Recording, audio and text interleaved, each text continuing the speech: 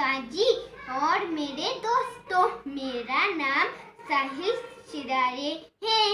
मैं दूसरी कक्षा में पढ़ता हूँ। मैं आज आपको कहानी बताने वाला हूँ। गिलहरी और एक कौवा।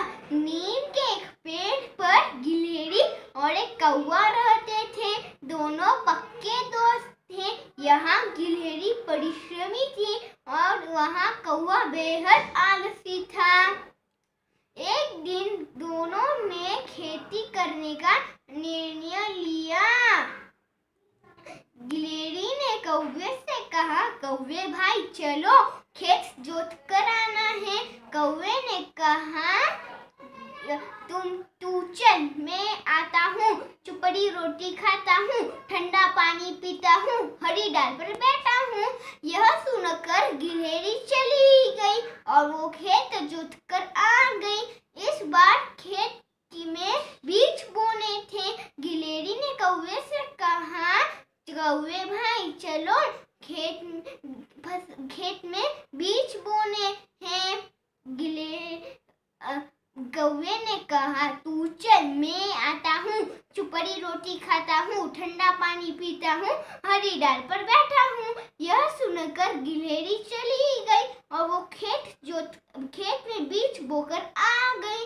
कुछ दिनों बाद बीज से नन्हे नन्हे पौधे निकल आए। कुछ दिनों बाद बड़े भी हो गए। इस बार उनकी निराई करनी थी। गिलेरी ने कौवे से कहा, कौवे भाई, चलो, खेत की निराई करनी है। लेकिन कौवा तो आलसी था। कौवे ने अपना वही पुराना बहाना दोहराया। इस बार खेत की सिंचाई करने का समय आया। गिलेरी ने कौवे से कहा कौवे भाई चलो खेत की सिंचाई करनी है गिलेरी खेत की सिंचाई करके आ गई। इस बार फ़सल पक गई थी। अब उनकी, उन्हों काट लाना था। गिलेरी ने कौवे से कहा, कौवे भाई, चलो, फ़सल पक गई है। उन्हें काट लाते हैं। कौवे ने उत्तर दिया, तू चल, मैं आता हूँ।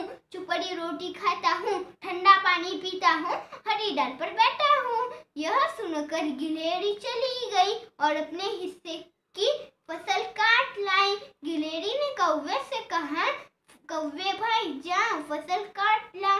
देखो, बादल घिर रहे हैं। कहा तुम्हारी सारी फ़सल बर्बाद ना हो जाए। कौवे ने उत्तर दिया, जाऊँगा जी, जाऊँगा। फ़सल काटने जाऊँगा। लेकिन पहले चुपड़ी रोटी खाऊँगा।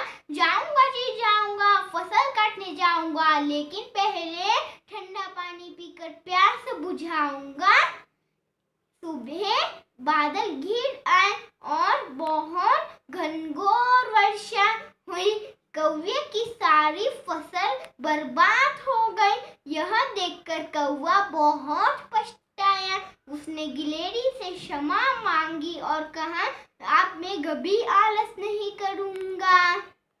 यह उसने तू चल मैं आतू आता हूँ का गाना सदा सदा के लिए छोड़ दिया। मैं आप सभी को हिंदी दिवस की शुभकामनाएँ इस कहानी से।